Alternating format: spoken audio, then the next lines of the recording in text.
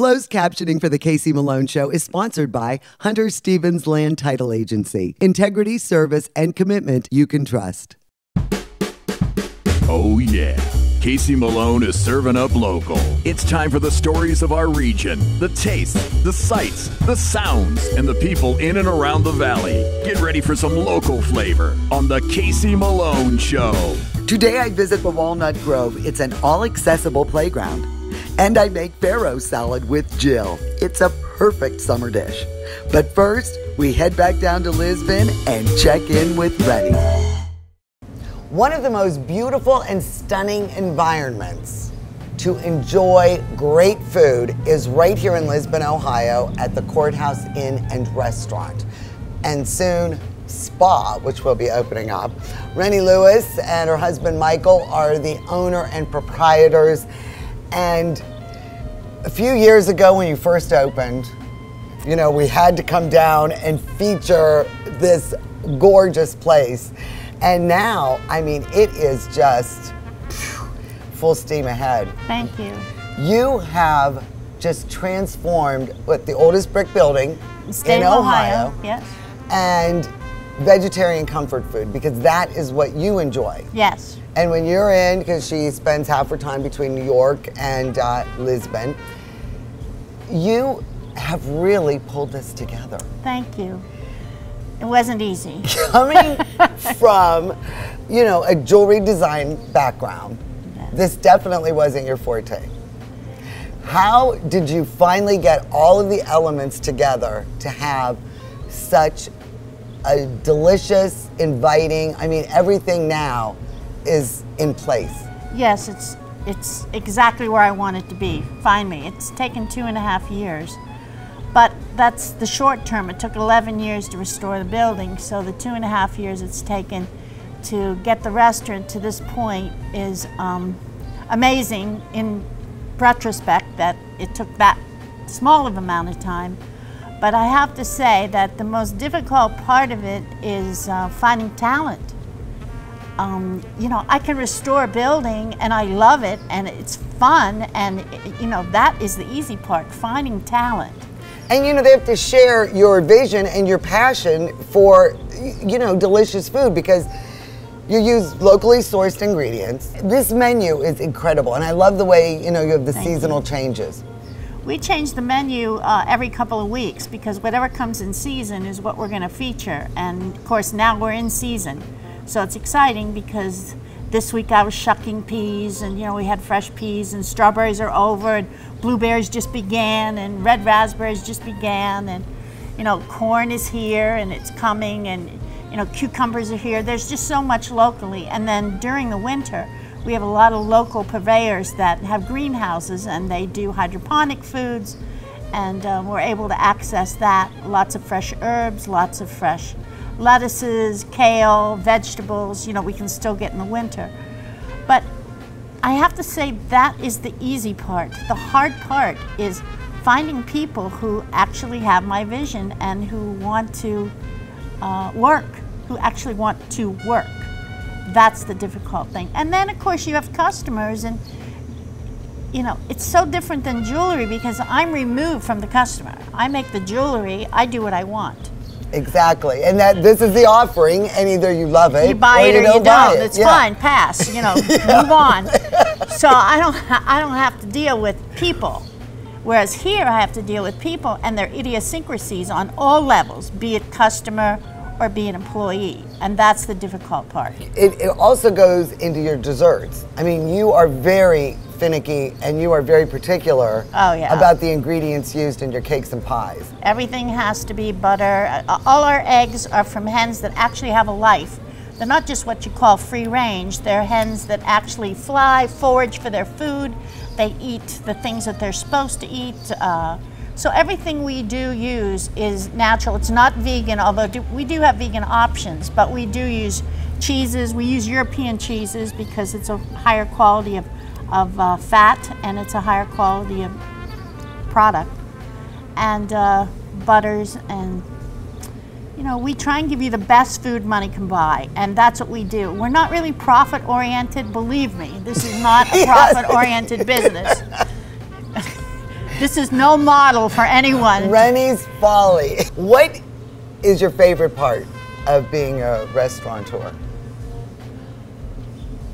Going to the farms and getting the food, dealing with the farmers, talking to them, getting them to grow certain things for me that I want purple potatoes, purple carrots, um, purple, I mean, colorful vegetables, and seeing how.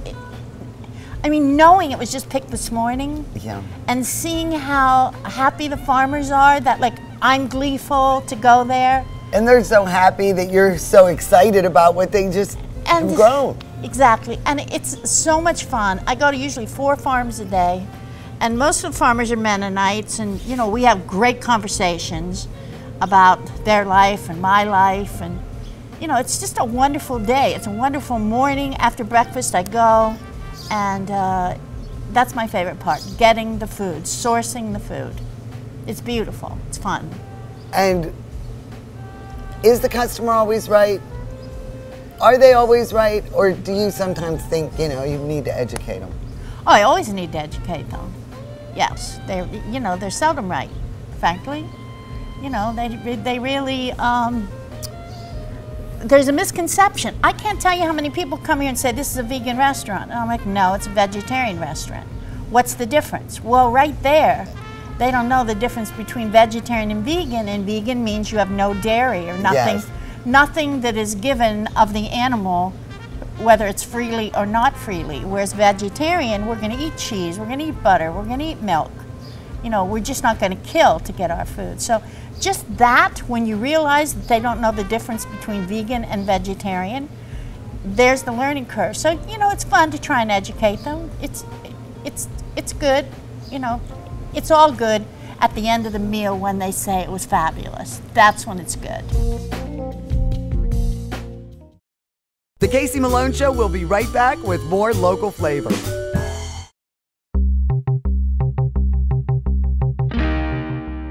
Summer means Magic Tree. Look at this patio. This is one of my favorite places to be on a summer night. Casey, we have all the things going on here at the Magic Tree on our beautiful patio. We have the Saturday Summer Music Series, not to mention all the other goodies like our seasonal menu. Oh, Absolutely. looky That's our here. canned chips, our cedar plank salmon, and this is our Casey and the Sunshine Salad. How you like that? And then our seasonal drinks. two. That's our mermaid water, and it ain't no water, by the way. And this is Oh. our fresh blueberry mule. Oh, that is beautiful. And I'm telling you, what is your slogan? Come to the Magic Tree to eat, drink, and celebrate. And I say repeat. Summertime is here. The living is easy. Get to the Magic Tree. Cheers. Cheers.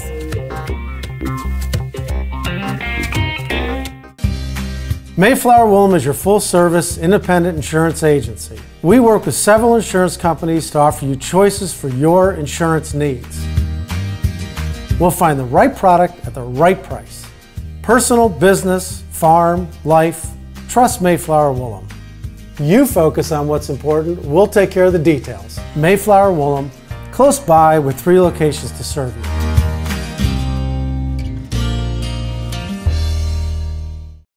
Five Buck Burger Mondays at Sadie's Place, inside the Best Western, Route 46, Austintown.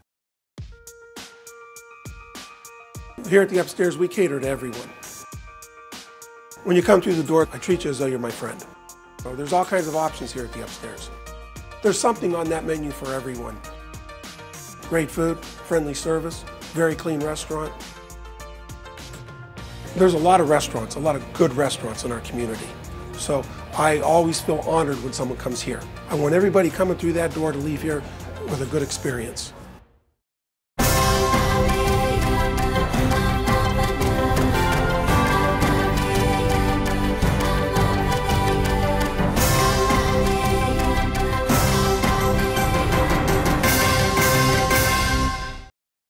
Brothers has a great choice of quality cheeses. We use our relationship with Old World Houses to specially select the product and then have it custom cut and packaged by our own local artisans. Find it all at Rulli Brothers, home of the famous Evening Express.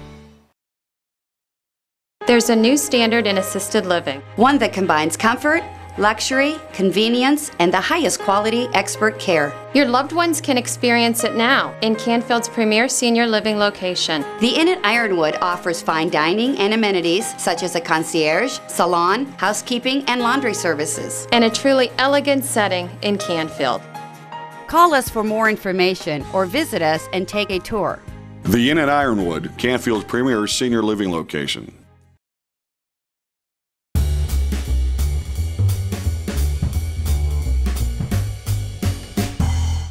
Well, it took some bribery, but I finally got my girlfriend, uh, Jill Landau, into my kitchen. Hello. She prepared this farro salad for a party a few weeks ago, and I've been making it consistently every week. I absolutely love this recipe. You know, I cook once, and everybody's so shocked. well, you really hit it out of the ballpark with this one. Thank you. You know, it, it could be vegetarian. Uh, it's extremely healthy. Yes, it is. It is my first introduction to farro. Oh, okay. Which is a really nice grain. It's got a nutty texture. It's filling. And let's talk about um, now our nutritional Okay. benefits from well, this. I know that one half cup of farro has seven grains. Is, excuse me, seven grams of protein. Yes. So it's it's really healthful for you. Less than 100 calories Okay. in that cup. Sounds right. And it also has, I have notes, magnesium, niacin, zinc, and iron. And it's loaded with antioxidants. Yes. And of course, a lot of fiber. Right. So it's really good and you're just gonna love this. And it's filling. You know, it really expands. And we've tweaked the recipe that you found. Yes, I found the recipe um, in Jessica Seinfeld's cookbook called Food Swings, Mm-hmm. and we kind of changed it up a little bit to, you know, give it a little bit of a But personalize it because there's certain Yeah. flavors that I thought were missing, and I think you know you added the onion, and I love that green onion addition. Yeah. Um, I've added this um, my new herb called lovage, and I had this growing in my garden. My friend gave me the plant, and I started using it, and it's very um, it's warm and has a little bit of spice, and it has a very strong celery taste. They don't really sell this in the stores, but if you get the stock from um, a celery, celery. and cut the leaves, You it can will substitute serve it? that. And then instead of boiling my um, farro in water, I like a stock. I think that's a great idea. You know, this Yeah. is chicken stock, but if you want to go total vegetarian, you can use vegetable stock or even beef stock. But it really, um, I think it just adds another dimension to the flavors. And I, I cannot wait to share this with everyone. And I Let's go. appreciate you coming in. So let's go over this recipe list. and uh, we'll get you all the ingredients and then we'll start making Jill's farro salad. For this recipe, you'll need one cup of farro, three cups of water, chicken or vegetable stock, one head of broccoli, thinly sliced, six radishes, halved and thinly sliced, two green onions chopped fine, white and green parts included, one half cup basil leaves cut into ribbons, one quarter cup flat leaf parsley chopped, one quarter cup lovage chopped fine, one chunk of Parmesan cheese, Dressing, you'll need one quarter cup of fresh squeezed lemon juice, one half cup of extra virgin olive oil, salt and pepper to taste. So get a fairly large dish Right. to mix this. And we just pulled this off of the stove. Right, you cook the farro for about 20 to 30 minutes until it's soft. And then you just you drain it and you run some cold water out over it. To shock it so right, it's so you don't have to wait um, for it to cool.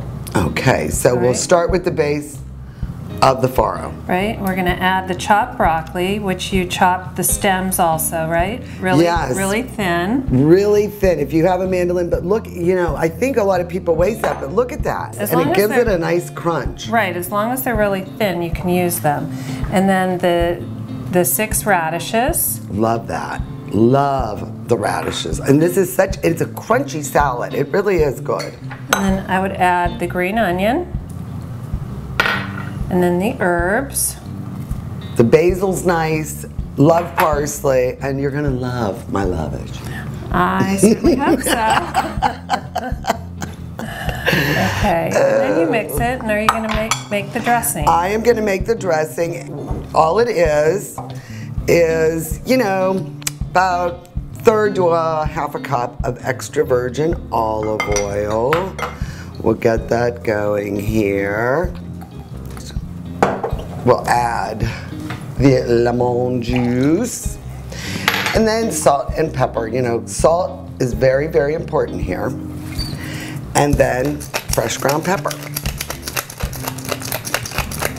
And that's it. It's a very easy vinaigrette. And I usually wait to put the chunked Parmesan cheese on after the dressing.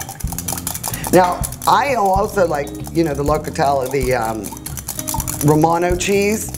So there we go. Blend it well, and we're just gonna pour the whole thing over it. Great.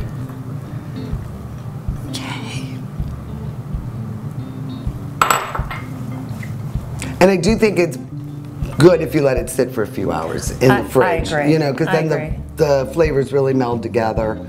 But I mean, look at what a beautiful, healthy salad that is. And it's loaded with taste. Well, Jill, for the pairing, I know you're a fan of the cava. Yes, I am. And you know, bubbly goes with absolutely everything. And I don't think you've tried this one. No, I haven't. It's from uh, Codorníu, and it is called Anna. And they also make a pink, but this is a Blanc de Blanc. Great. Cheers. Cheers. Thank you fun. for coming you and for having making this. Mm. It is so light and refreshing, just like your salad. Yes. So let's give it a try. What do you think? You haven't had it with the stock yet, have you? No, it's really good. Mm. And the lavage. Sorry. It was fighting me on that. I'm not sure. I think you added too much, but it really is good. Make this once, and honestly, even though it is so healthy, everybody's gonna love it. It really is delicious. So for the recipe, just go to my website, caseymaloneshow.com, and look for Jill's Faro Faro, not sure of that proper pronunciation, Either. salad, and you'll find it right there. I really, really thank you. Thanks. You're gonna love it. The Casey Malone Show will be right back with more local flavor. Hi, I'm Elizabeth Bernard. I've been giving the people of our valley free advice for 30 years, and my message has never changed. If you're involved in an automobile accident, don't try to handle it yourself. Call a lawyer. A lawyer will be your representative, dealing with doctors, medical insurance, and all the red tape that you may encounter. Hiring a lawyer doesn't mean you'll end up in court. And remember, there are no upfront fees on personal injury cases. That's good advice. Need a lawyer? Learn more at elizabethbernardlaw.com.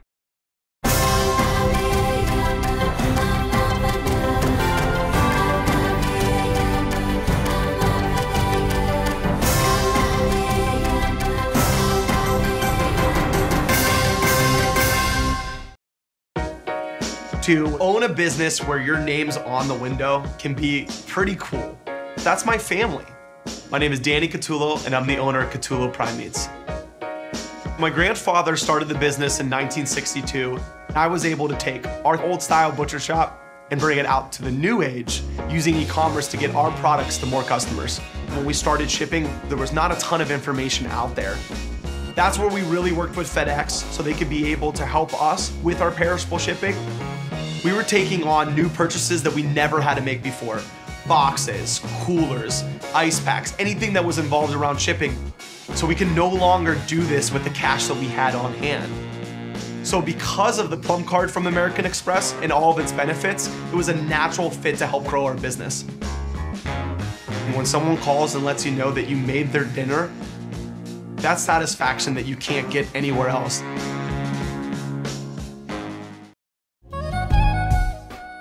Open the Jewel Box, the Courthouse Inn, organic vegetarian comfort food, handcrafted cocktails, fine wine and beer, fresh baked cakes and pies.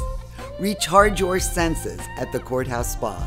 dazzling dining, artfully prepared, locally sourced ingredients, spa services. The Courthouse Inn feels like a world away, just down the road in historic Lisbon, Ohio. It's time to get real about getting engaged. Real experts you can count on. Real pricing and financing for your budget. And really one of a kind engagement rings. That are unique as she is. Get real, get Kamara. Get real, get Kamara. In the Coal Creek Plaza in Canfield. Four for five till six. Happy hour at Sadie's Place inside the Best Western, Route 46, Austintown. At Rulli Brothers, the family is in the store. Meats, deli, produce, even the checkout. We work hard to ensure that you get the best products at a personal shopping experience. At Rulli Brothers Markets, our customers are our top priority. Our family is in the store. Well, phase one is nearing completion here at the Walnut Grove Playground. And Shelly Duchek is the president of the board. Excuse me very much. And this really is an amazing undertaking. Oh my gosh, it is fantastic. We have had community volunteers, we've had community donations. We would not have this place without the community. It's awesome. And, you know, I've never even really realized, you know, playgrounds, you see them everywhere, Mm-hmm. but you don't realize that they're not that accessible for disabled kids. Yeah. And what what put that into your, uh, you know, uh, why did this all come to be? Well, the individual who donated the property to us had a desire to help children with disabilities. So a group of community members came over to talk, uh, just get together and see what the community needed. And we don't want to duplicate services, so we wanted something new. And we came up with this idea that we needed an outdoor recreational venue that was conducive to kids of all abilities. So out of that dream, honestly, of the design plan, the playground was the very last thing we came up with. our, our playground was going to be just a couple swings, and now you can see by the time we're done, it's going to be an acre big. I mean, and then you just plan on expanding more and more. And what's awesome is this is all through volunteerism and private donations. All private donations, um, volunteer time. Um, we've gotten some wonderful services donated to help us. And this project is bigger than just this playground. I mean, we plan for Miracle League fields, so we'll have a baseball, a track. Um, behind the playground, there's the actually accessible walking trails. So there will be nature trails through the wetlands. There's a bridge that connects to the Mill Creek Metro Parks bikeway. So there's all kinds of stuff for people to do when they come out here. And then are you reaching out to uh, the different organizations that help, you know, the, the children um, with disabilities? I mean, are they giving you some really good suggestions? Yeah, you know, when we were putting the playground design together, we kind of just said, and we talked to parents a lot, what do you need? And one of the things that really came out is that there's no place for a family to go and play in this area. So if you have a child who's in a wheelchair, he, where's he going to go play with his sister? Because he can't get onto the play equipment going through the mulch and the rock. So this is a place where families can come together and just create memories and have fun, and it's inclusive. So you can play with your friends, you can play with your cousins, and just enjoy. There's no barriers on this playground. Um, and we ask that people, when they do come out here, remember that it is all volunteers running this park. We don't have anybody on staff, so please throw your trash away. You know, keep the park clean. and we're still in the fundraising stage, right? We're still accepting funds. Yeah, we absolutely are. What you're looking at is really just the beginning of what we want to do. We have a dream to make an entire playground that is going to be an acre big. So if you when you look around here, there's not a swing on this playground. We need to add swings. We have plans for a zip line. We're putting in a sand pit, and we have this huge imagination area where there's a pretend fire truck that anybody can wheel up and just drive the fire truck from the top, to the bottom. We have talk tubes so the people at the front of the truck can talk to the back. I mean, we we tried to include everything we could possibly think of in this playground, so there is something for everybody. Amanda is also on the board, and I'm as I look at all this equipment, how do you know to order what eh, has inclusive you know, play materials? So when we were looking at each piece that was being put on this playground, we wanted to look at whether it was um, it did sensory, it encompassed um, motor skills, cognitive, and social skills. And I'm looking at this because we actually made a book. Um, where each piece of equipment that we have, we thought of these four things first and foremost so that every child, every adult, whether you have a handicap, a disability, you can come out to our property and you can use it. So if you have a son who is in a wheelchair, but you have two typical daughters, where are they going to play? Well, when they come out here, they can play on everything. He can go up on the ramps, he can go down the slides, he can pull himself on stuff. Um, there's actually, if you have autism, we have little spaces all over where you can kind of go in, get that sensory overload out of the way. You're in a, the, we have a little cozy dome behind us, and you can hide in there. Get away from the noise, get away from the people. So each piece of equipment that is on our property has a specific purpose. How much property has been donated? So you you're looking at an acre of just playground. So how much do you have to work with? 20 acres. 20 acres. I'm going to build a house in the back. okay. Wouldn't that be awesome? Yes, but I'll be like the caretaker. we could use you. You're hired. no, this really is a, a, wonderful project. It really is. And do you come up with like ideas of, um, you know, with your board and all your volunteers? Yeah, everything is done through volunteers. We we make all decisions through a board. Um, we are a 501c3, so we are run like a true board. Well, we are a true board. Um, any decisions that are made, they're made in a group. Um, and everything that all the decisions that we do made they're very well thought out and we have checks and balances in place because we do have a mission.